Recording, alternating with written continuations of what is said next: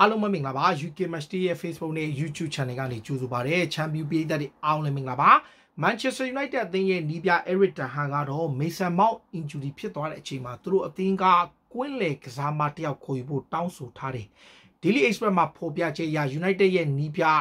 Eric Ten Hag ကသူတို့အသင်းရဲ့ဒါကွင်းလေပိုင်းအတွက်အားနည်းနေတဲ့အတွက်ကြောင့်ကစားမတယောက်ခေါ်ပြီးဖို့သူတို့တောင်းဆိုတယ်။ဆိုတော့ကလပ်က Scott McTominay ကြံနဲ့ Donny van de Beek ကြံနဲ့ Fred ကအသင်းပြောင်းသွားပြီဒါပေမဲ့လည်း Manchester United အသင်းကဒီအခြားကွင်းလေကစားမတယောက်ခေါ်ယူဖို့အတွက်လက်ရှိလူစင်းနဲ့ဆက်သွားဖို့လုပ်တဲ့အချိန်မှာမောင်က Spurs နဲ့ပွဲကရရှိတဲ့ဒဏ်ရာက၄ပတ်ကနေ6ပတ်ထိနားမယ်ဆိုတော့အဲ့တန်ရကြောင့်ပဲမေဆန်မောင်ကို Man United ကဆုံးရှုံးတော့မယ်ဆိုတော့အဲ့အတွက်ကြောင့် Eric Ten Hag ကကလပ်အသင်းကိုကလပ်ရဲ့တာဝန်ရှိသူကိုသူတောင်းဆိုတာက Fiorentina ရဲ့ကွင်းလေကစားမှာ ဒီ Sofran Amrabat ကိုခေါ်ယူပေးဖို့တောင်းဆိုတယ်ဒီကစားပါကိုအခုလောလောဆယ်မှာ Saudi Club အသင်းအသင်းတွေကလိုက်တယ်နောက်ကမ္ဘာဖလားတော့ကျွန်တော်မမေးရ Unai နဲ့အမ်ရာဘတ်ကမော်ရိုကိုကွင်းလယ်မှာတကယ်ကိုခြေစွမ်းပြတယ်။ဟူအိုနိုင်ဟီဆိုရင်ဒါပြင်သစ်မှာမာဆေးကိုပြောင်းသွားတာပဲရှိသေးတယ်။ဒါပေမဲ့သူ့ကိုအသေးအံလိုက်နေလို့ဆော်ဒီကလပ်တွေကသူ့ကိုခေါ်နေတယ်။ဒီအမ်ရာဘတ်ကိုအေအာလီကတောက်လျှောက်လိုက်နေပြီးတော့အေအာလီကသူတို့က ဇလင်းစကီရဲ့အပြောင်းရွှေ့ပြတ်သွားတော့အဲ့အပြောင်းရွှေ့နောက်ဆက်တွဲနေသူတို့ဘက်ကခေါ်ဖို့လုပ်နေတယ်။ဆိုတော့အခုလောလောဆယ်မှာ Manchester United ကမေဆန်မောင်းကို၄ဘက်က6ဘက်ဆိုတော့ကျွန်တော်တို့ international break ကနှစ်ပတ်ပြီးပြီးမယ်ပြီးရင်နှစ်ပတ်အကြာဆိုတော့ကျွန်တော်ထင်တော့သူကဒီ September လထဲကြမှာပဲ September လလေလောက်မှာပဲပြန်ကစားရမယ်အခုသူဖြင့် Brighton ပွဲအပီးလောက်မှသူပြန်ပါနိုင်နေမယ်တကယ်လို့ဒါ၄ပတ်ဆိုရင်6ပတ်ဆိုရင်တော့အောက်တိုဘာလဆန်းလောက်မှမောင်းကပြန်ကစားရမယ်ဆိုတော့သူတို့ဘက်ကအခုလောလောဆယ်မှာကလပ်ဘက်က Van de Beek ကထွက်ဖို့များတယ်ဗျအခုလောလောဆယ်ဘယ်အသင်းမှမသိပေမဲ့ထွက်ဖို့များတယ်တစ်ချိန်တည်းမှာပဲအခြားကွင်းလေထဲမှာ Fred ထွက်သွားတဲ့အချိန်မှာကွင်းလေကသူလူမရှိတော့ဘူးဆိုတော့ Eric Ten Hag က Manchester United ကတကယ်တာဝန်ရှိသူတွေကိုတောင်းဆိုတာပေါ့လေဘိုးဘွဲကိုတောင်းဆိုတာက Sofran Amrabat ကိုခေါ်ယူပေးပါ Fiorentina ရဲ့ကွင်းလေကစားမက26နှစ်အသက်ကအရွယ်ကောင်းပဲသူ Fiorentina ကိုယ်တိုင်ကသူ့ကို Friday မှာနောက်ဆုံးအနေနဲ့ deadline ပေးထားတယ်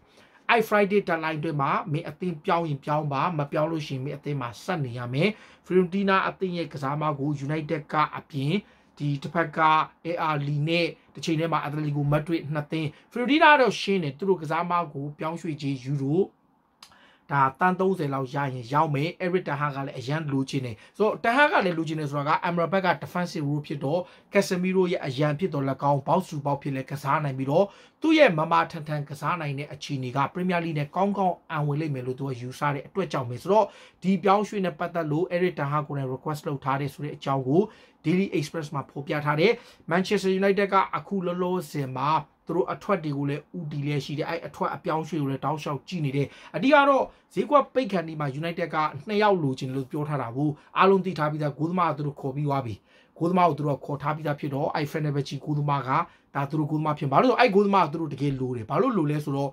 ဟိုအန်ဒရီအိုနာနာကကင်မရွန်နဲ့လေဝီစင်အသင်းမှာပြန်ကစားမှာဖြစ်တဲ့ကြောင့်အာဖရိကဖလားပြိုင်ပွဲတွားကန်တဲ့အခါတလလောက်နားရမယ်ဆိုတော့တလလောက်မပါနိုင်ဘူးအဲ့အတွက်ကြောင့်အဲ့ဂိုးသမားကနံပါတ်1ဂိုးသမားဖြစ်ဒီ January ကာလမှာသူတစ်လလောက်သူဖမ်းရမယ်ဆိုတော့အခုလောလောဆယ်မှာတော့ Manchester United ကမေဆန်မောက်ဒဏ်ရာရသွားပြီးတဲ့အချိန်မှာမောက်နေရာမှာရောနောက်သူတို့ရဲ့ Casemiro ရဲ့အရန်ဖြစ်ပါအစားထိုးနိုင်မယ် Sofran Amrabat ကိုတောင်းဆိုထားတယ်ပြောင်းရွှေ့ရတော့တန်း30ပဲ United ကတခြား option တခုကိုကြည့်နေတယ်တခြား option ဆိုတော့ဗျာဟို Amrabat မဟုတ်ပဲနဲ့ဒါ United ကအခြားဘသူကိုလွယ်လွယ်ကူနဲ့ခေါ်လို့ရမလဲအဓိကတော့ဗျာဈေးကွက်ပိတ်တော့မယ်အခုဆိုရင်ကျွန်တော်တို့ဗျာရက်ကဘယ်လောက်မှမကြံတော့ဘူး ဟိုရက်က23ဆို24ဗျာ24ဆိုကျွန်တော်တို့9ရက်တပတ်လောက်ပဲကျွန်တော်ဆိုတော့ပြိုင်ဘက်အသင်းတွေကလည်းအစားထိုးဖို့ဘာဘူးပြန်ခတ်နိုင်တဲ့တကြောင်တို့ကလည်းဟိုလွယ်လွယ်ကူဝယ်ယူနိုင်မဲ့ option ကို United ကကြည့်တယ်ဒါပေမဲ့တန်းကတော့ငါ့ကို Amrabat ကိုဝယ်ပေးပါလို့တောင်းဆိုထားတယ်ဒါပိတ်သက်တွေနဲ့ဘယ်လိုမြင်ကြလဲ United ရဲ့နီးပြ Eric Ten Hag က January ကာလမှာလည်း Ivan Toney ကိုခေါ်ယူခြင်းပြီးတော့